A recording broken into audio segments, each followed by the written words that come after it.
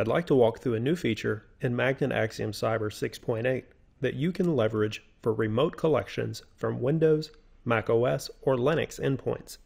Previously, the target system was identified and information such as the operating system and IP address were provided to create and deploy an agent. Once deployed on the remote computer, Axiom Cyber would connect to the agent, and then you could select the data you were interested in collecting from that computer. With Axiom Cyber 6.8, examiners have the option to add endpoints manually as part of a collection. This means you can create a placeholder agent for later use and manually define the collection before that agent comes online. Once the endpoint comes online and has the agent installed, the acquisition can begin. Manually adding an endpoint can be performed as part of the acquisition of a single endpoint or as part of a queued collection with multiple endpoints. While there are a variety of use cases for this, let's walk through the process to see what it looks like. In Axiom Process, once entering the case details and moving to the Evidence Sources screen, select Remote Computer as your evidence source.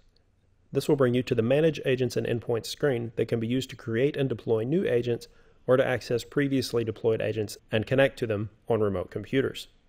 In this example, we'll create a new agent, provide a name, and select the operating system of our target computer from the drop-down menu, in this example, Windows. Other required pieces of information include the IP address that we're running Axiom Cyber from, as well as the port we'd like to listen on. For this example, I'll just use my own loopback address and provide a port number and then create the agent. Now with prior versions of Axiom Cyber, we would choose the option to deploy an agent and we would provide the IP address, username, password, and desired location for the acquisition agent on that machine. However, with Axiom Cyber 6.8 and manually adding endpoints, we have some other options. I'll back up and return to the Manage Agents and Endpoints screen.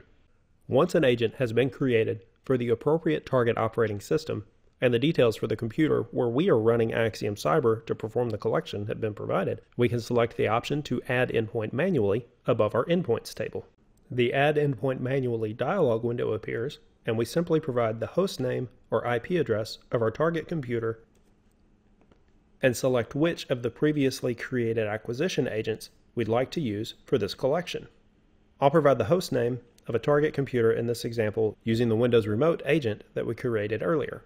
I'll select Add Endpoint, and we're again returned to the Manage Agents and Endpoints screen. In the Endpoint table in the lower portion of the screen, we can see the newly added hostname listed under the Windows Remote agent. We also see the agent status for this particular system is offline. As with earlier versions of Axiom Cyber, once that agent has been deployed on the remote system and is running, the agent status will show as online in the endpoints table, and we would also see its currently assigned IP address. From the endpoints table, we could then select that target computer and make choices about the data we'd like to collect from that system. With Axiom Cyber 6.8 and adding endpoints manually, we can also hover over this entry and select the option to connect to endpoint, even without the agent being deployed. From the Select Connection Settings window, we can enable data compression and the option to begin downloading file system structure and folder metadata once a connection is established.